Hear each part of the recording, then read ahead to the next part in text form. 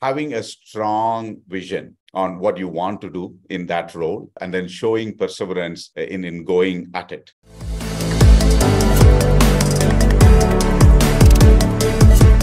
We've you've now worked for so many years and you've seen, right? It's not academically the brightest people who always succeed and actually become C suite leaders also, right? So, what do you think truly differentiates those who make it to that role and those who don't? Uh, it's a beautiful question, right? Academic brilliance certainly has its merits. Let's give credit to where it belongs. You know, uh, you absolutely uh, uh, are to uh, appreciate people who have academic brilliance. But C suite leadership is not, not often solely determined by how good you were in academic achievements. I believe multiple factors come into it. It's it's strategic thinking, your real leadership abilities, your emotional intelligence, and and uh, you know, relentless drive for achieving results.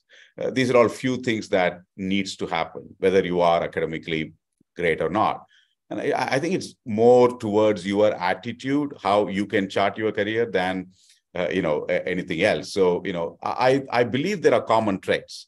Uh, uh, maybe it might apply for uh, most of us right? It's about having a strong vision on what you want to do in that role and then showing perseverance in, in going at it is, is an important thing being able to inspire and influence stakeholders whether above or below the ability to inspire stakeholders at all levels is absolute must and I, think we also have to be a seeker.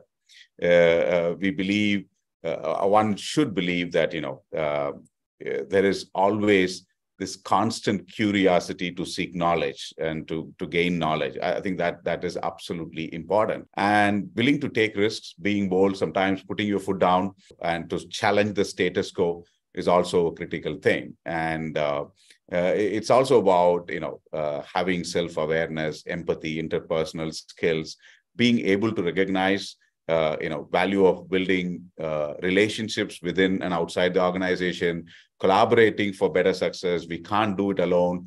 Uh, uh, so it's multiple factors. If we can have all of it, or at least you know most of it, uh, that will ensure that we are very very successful not that fancy degree uh, though i'm not discrediting academic success but it's more important on those characteristics rather than just the academic